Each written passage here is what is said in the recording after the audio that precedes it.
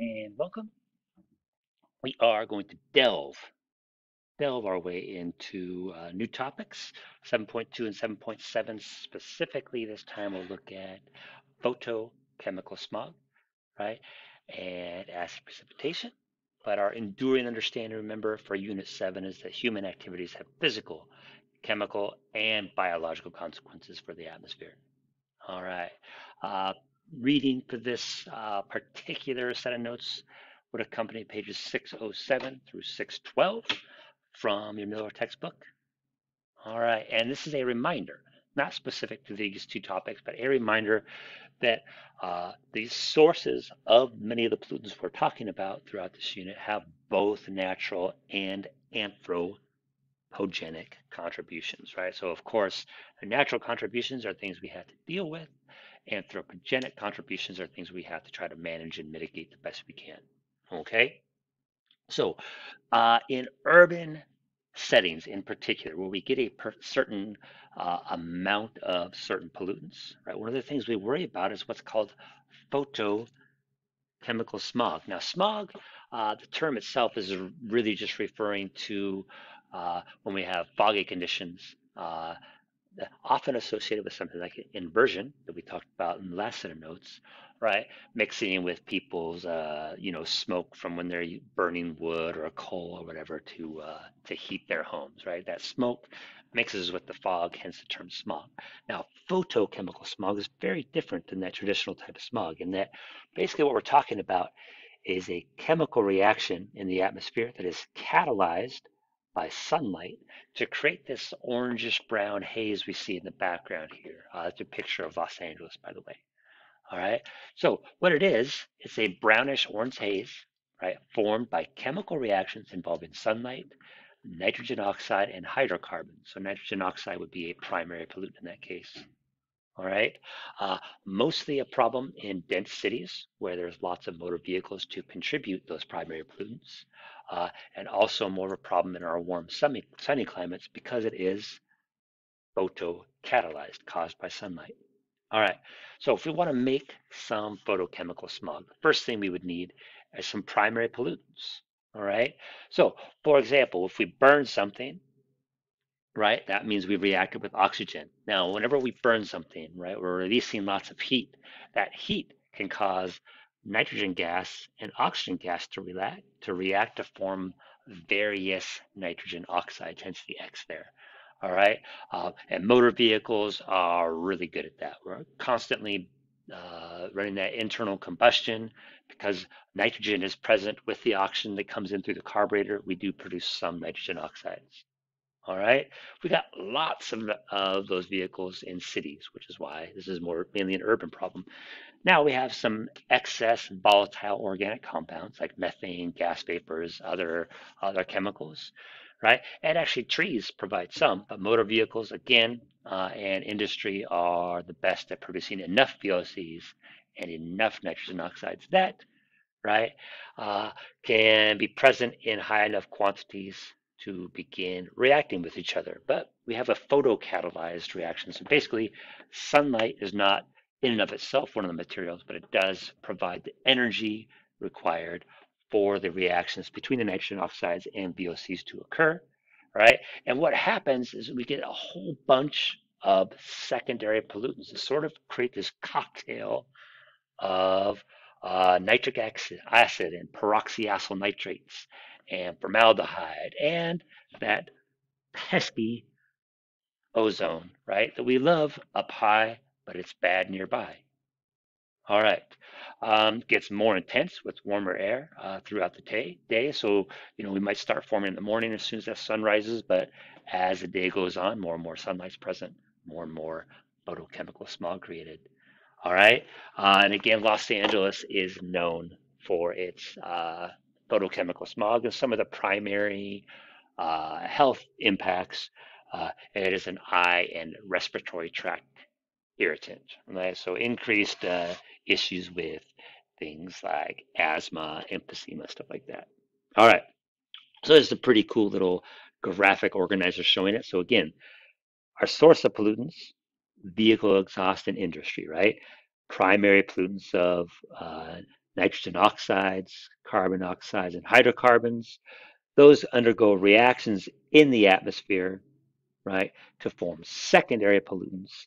And then we get that nitric acid, which could contribute to acid rain. We get peroxyacyl nitrates and formaldehydes and things like tropospheric ozone.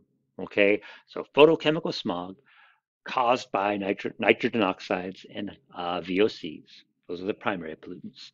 When they get in the atmosphere in large enough quantities and we get some sunlight mixed in there, those can react to form secondary pollutants of a whole bunch of different types. And those are what we refer to as that, uh, that photochemical smog, which is evident visibly uh, with that sort of brownish orange haze. Okay, now uh, let's move on to topic 7.7, which is acid precipitation. All right, so we're going to touch briefly on the pH scale. All right, so pH is a way of measuring um, the abundance of uh, hydronium ions or hydrogen ions. All right, now those of you who've not had chemistry yet, right? So pure water would have an equal abundance of H plus and OH minus. H plus is what makes things acidic. OH minus basic, right? This is a, a, uh, a not so great summary, but right, because water is H2O or can be written as HOH, we get equal abundance of hydrogen and hydroxide. So water is what we would call neutral. Now, if something dissolves into the water to give us more of that, right, we become more acidic. If something dissolves into the water to give us more hydroxides, we become more basic. All right. So when we have a little bit of extra hydrogen ions or what they call hydronium, okay, that is when we become more acidic. And pH is a way of measuring how much extra, right, uh, hydronium or hydrogen ions are present in the water okay? And the further we go this way, the lower pH makes it a more strong acid, right? The closer we get to seven, it's more weak acid, and the same thing on the base side, all right? So it's a logarithmic scale, much like uh, earthquake intensity, right? So uh, each step is an increase of hydronium by a factor of 10, okay? So uh, a five is 10 times more acidic than a six. A four is 100 times more acidic than a six. A three is a thousand times more acidic than a six, and so on. All right.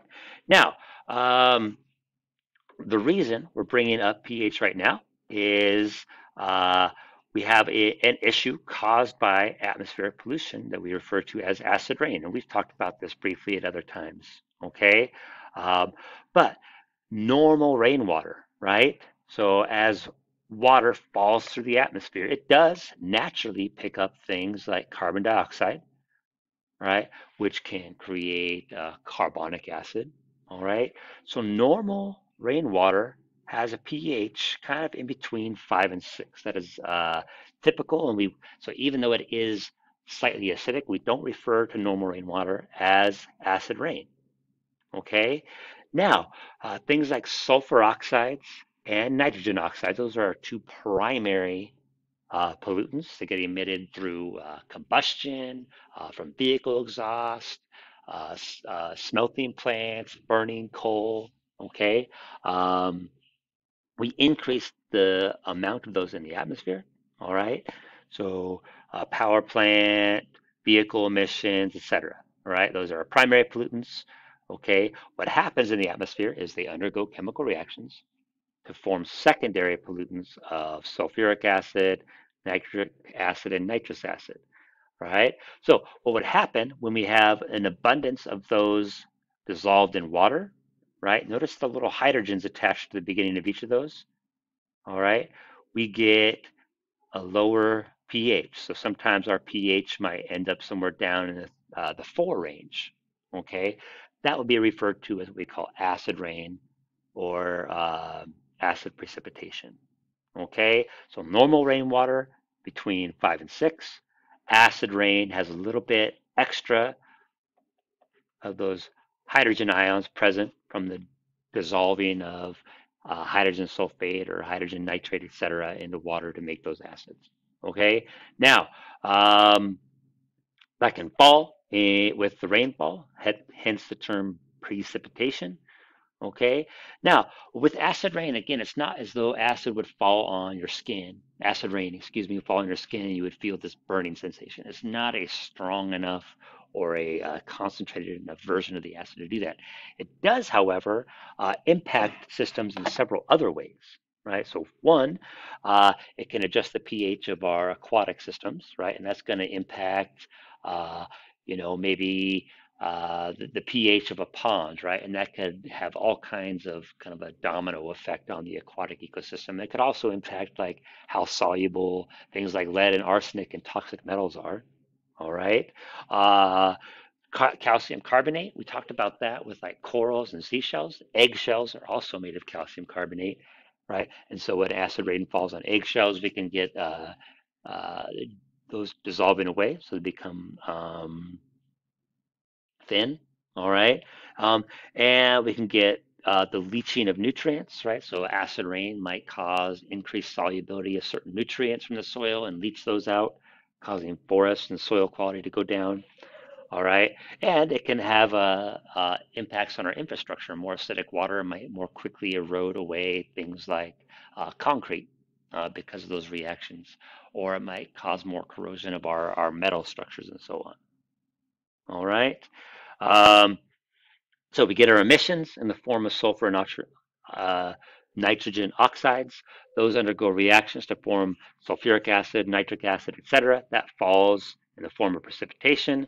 We acidify that soil, right? That can impact our uh, ability for plants to grow and cause forest decline, right? It can release toxic metal ions and much like uh, acid mine drainage would do, that can work its way into our aquatic ecosystems, cause all kinds of issues. All right, that takes us to the end of this lecture.